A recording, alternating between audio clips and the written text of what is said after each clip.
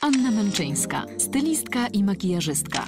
Współpracuje przy serialach, programach telewizyjnych i sesjach zdjęciowych. Zawsze pozytywnie nastawiona do świata, zaraża swoją energią. Dzięki Bogu jestem kobietą, bo no właśnie, no nie wiem, czy jestem zadowolona, że jestem kobietą, ale mówiąc poważnie, tak cieszę się z tego, że jestem kobietą, ponieważ jako osoba silna, będąc kobietą, potrafię być też delikatna yy, i w sposób sensualnie, namacalnie, we wszystkich aspektach odbierać życie i świat. Izabela Kopeć, wokalistka obdarzona mezzosopranem lirycznym. Swojej twórczości łączy dwa światy wysublimowanego popu z operą. Jej ostatnią płytą jest krążek o nazwie Five, którego jest także producentem. Dzięki Bogu jestem kobietą i e, cenię siebie za to. Y, Lubię swój dualizm, który mam w sobie. Z jednej strony kobiety wrażliwej, e, pełnej uczuć, emocji, a z drugiej strony konkretnej, stąpającej mocno po ziemi, y, niezależnej, y, wiedzącej czego chce od świata i co chce światu dać. Zofia Czernicka, dziennikarka i prezenterka telewizyjna, doktor nauk ekologicznych. Rzecznik prasowy reprezentacji artystów polskich w piłce nożnej, odznaczona Orderem Uśmiechu. Dzięki Bogu, że jestem kobietą, bo Bóg mi nie dał szansy wyboru.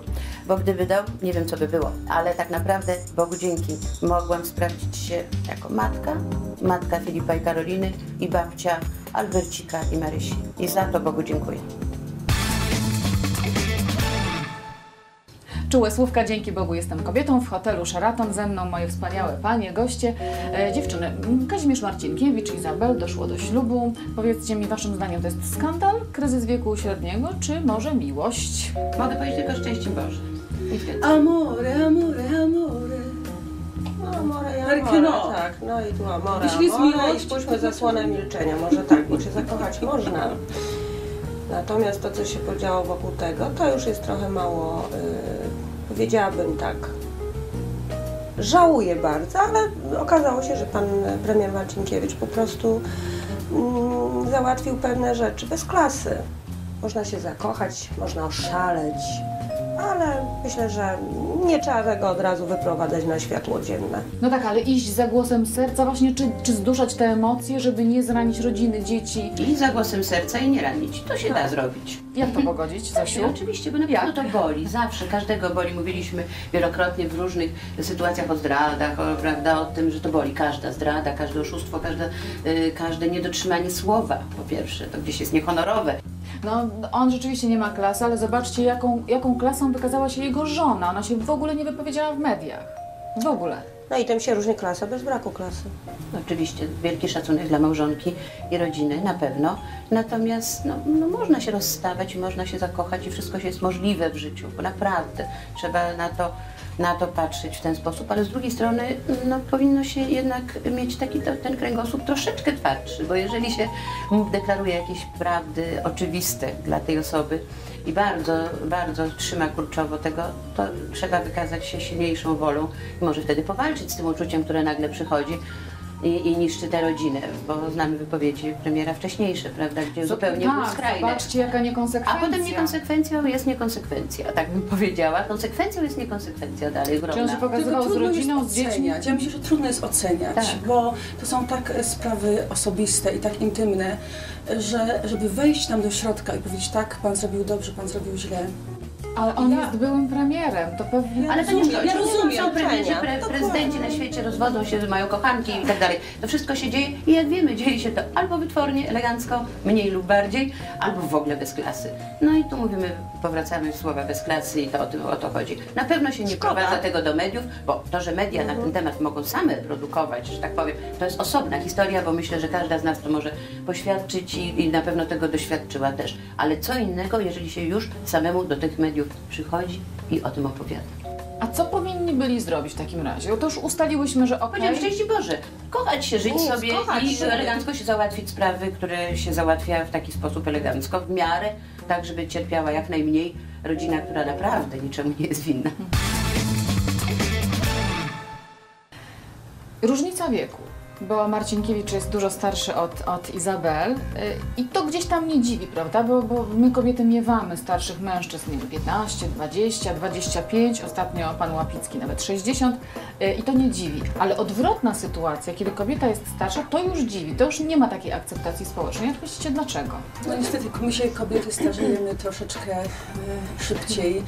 Mężczyź, mężczyznom ten los, lo- los jest po Są prostu zawsze do wzięcia, zawsze do wzięcia. Ja Tak. myślę też, przepraszam, że Ci za przerwę. Ostatnio słyszałam e, wypowiedź e, jednej z moich znajomych, która powiedziała, że jest też przyzwolenie na to, że mężczyzna przychodzi kryzys wieku średniego i jest na to akceptacja wręcz, że no poszalał, tam musi sobie trochę... Ale w każdym wieku można się zakochać. W każdym. Tak naprawdę mamy przykłady Ale- w historii, e, że jest młoda partnerka, e, starszy pan, bądź odwrotnie. Teraz coraz częściej się zdarza, że partnerka jest starsza, a facet jest młodszy.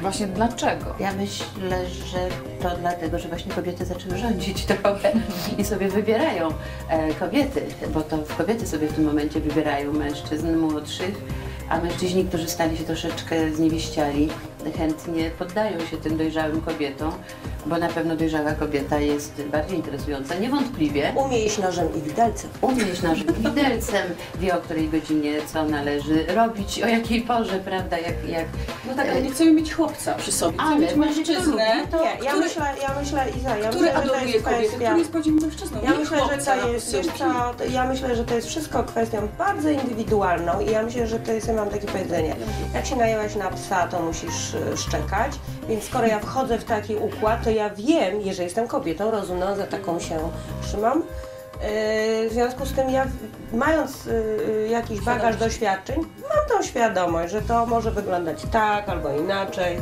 i bez jakiegoś czarowania siebie samej, bo ja myślę, że to jest kwestia uczciwości w stosunku do samej siebie i potem trudno mieć pretensje do młodego partnera, że trochę jakby nie przystaje do, do, nas. Natomiast No tak, ale co zakładamy od razu, że tak my mamy załóżmy, nie wiem, 40 lat czy 45, a partner ma 30. Zakładamy, że o Jezu, za 10-15, no to on już powie goodbye, bo on będzie fajnym 40-latkiem, a my będziemy mieć właśnie klimakterium. ja myślę, Myślę, że tak o się Jezu, zdarza. Tak się pewnie zdarza. Tak się zdarza, tak się pewnie zdarza. Ja się to Słuchaj, ja, blokuje. myśl, ja, ja tak sobie myślę, że, że na pewno jest trudniej, no bo masz tą świadomość, no i to co z tego, że ja świetnie wyglądam, jak każdy rok to jest bagaż, każdy rok ma jakieś dni i to jest podejmowanie przeze mnie decyzji, postawienie się y, też w jakiejś pozycji życiowej, moje ciało się starzeje, więc się tutaj nie, Moje też, nie, moje też. nie, nie ja oszukuję. ja mam problem z głowy. Ja mam syna, który ma 35 lat. W związku z tym mam ten problem Czy głowie. chcesz nam o czymś Nie powiedzieć, chcę powiedzieć, że młodzi mężczyźni, to ja je traktuję w kategorię syna. Syna. I ja nie jestem w stanie młodych mężczyzn, ja osobiście postrzegać. I tu dodam do jeszcze, że myślę, że tu decy- decydującą sprawą jest sprawa estetyki. Bo tylko o tym chcę powiedzieć, że y, ja w moim wieku, choć staram się trzymać i, i dbać o siebie, myślę, że taki właśnie rówieśnik mojego syna bym no nie chętnie by patrzył na mnie. Eee, Więc ja myślę, że to jest kwestia ale- estetyki. Natomiast Też, młoda wiadomo. dziewczyna Intelekt, Też niezależność. Wiesz, Zosiu, Żeby tylko na agenta Tomka nie Nie- trafić. nie tylko zewnętrzne, wnętrze przede wszystkim się liczy. Ja myślę, że znowu powiem tutaj, że to są e, absolutnie rzeczy indywidualne, bo często miałam okazję spotkać e, bardzo młodych mężczyzn, którzy byli bardzo dojrzali, a też i spotykam e, mężczyzn w moim wieku, którzy są, przepraszam, e, bez polotu, bez chęci do życia, nie chcą, Zblazowani. że tak powiem, zmierzyć się z życiem, nie są ciekawi życia. No i się nagle okazuje, że są dużo starsi od tych młodszych e, Duchem. chłopaków, duch, którzy są młodzi duchem przynajmniej. Tak, bo najważniejszy jest ten duch. to na pewno.